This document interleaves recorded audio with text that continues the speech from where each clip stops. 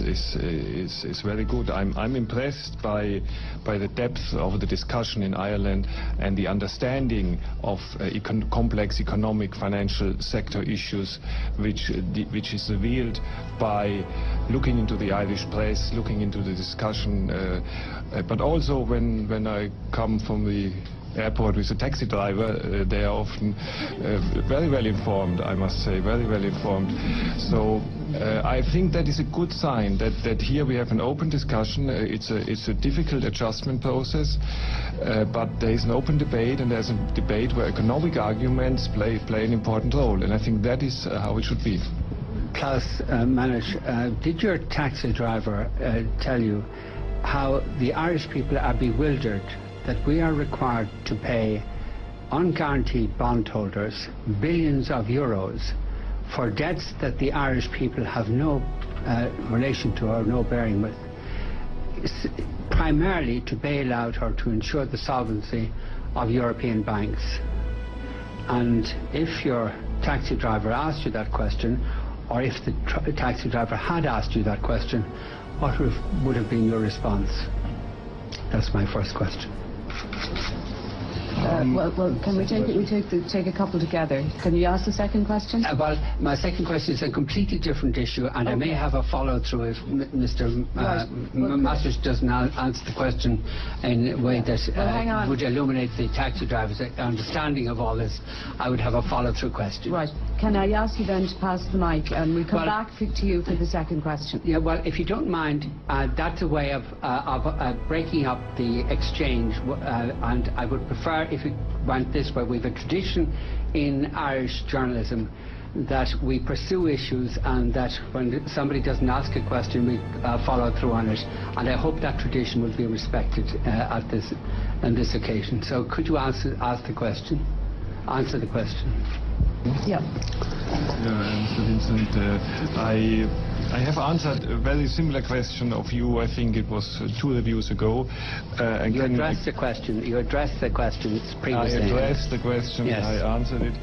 I would say uh, I can I can understand uh, that uh, this is a difficult decision to be made by the government, and there's no doubt about it. But there are different aspects of the problem to be to be balanced against each other, and I can understand that the government came to the came to the view that all in all, the costs for the for the uh, Irish people, for the for the stability of the banking system, for the confidence in the banking system of, of taking uh, certain action in this respect, uh, which you were mentioning, uh, could could likely have been much bigger than the benefits for the taxpayer, uh, which of course would have been there. So uh, the, the financial sector would have been affected, the confidence of the financial sector would have been negatively affected, and I can understand that there were that there was a difficult decision, but that the decision was taken in this direction.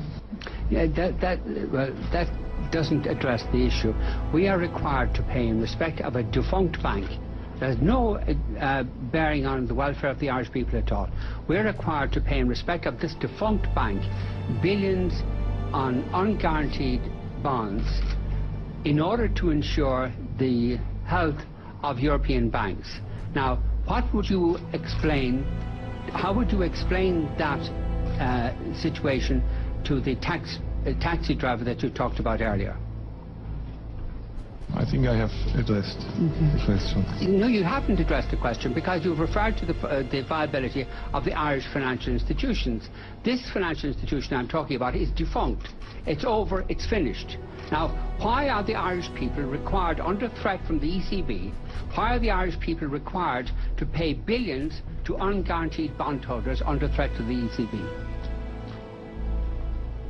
You didn't answer the question the last time, so maybe you'd answer it this time. Well, I think I think he doesn't have anything to add to what he's already said. well, well sorry, just we minute. this isn't good. This isn't good enough. Sorry, this isn't good enough. You people are intervening in, in in this society, causing huge damage by requiring us to make payments not for the benefit of anybody in Ireland, but for the benefit of European financial institutions. Now, could you explain why the Irish people are inflicted with this burden? Well, I think I have addressed the question. You have nothing to say. There's no answer. Is that right? Is that it? No answer? I have given an answer. He's given an answer. You have a, given an answer that doesn't address the question. That's your view. That is my view, and I think it Yeah. would be the view of the taxi driver and the view of our viewers tonight. Right.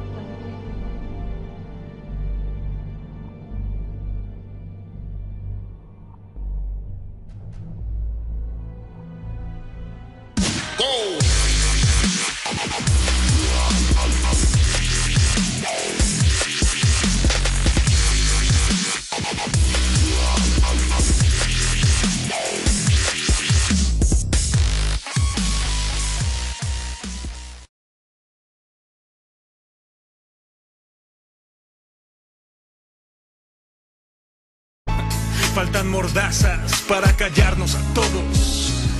Faltan cárceles para encerrarnos a todos. Y faltan balas para matarnos a todos. Yo no voté por ti, no representas a la gente. Yo no voté por ti, no, no serás mi presidente. Yo no voté por ti. Yo sí tengo memoria, yo sí tengo memoria.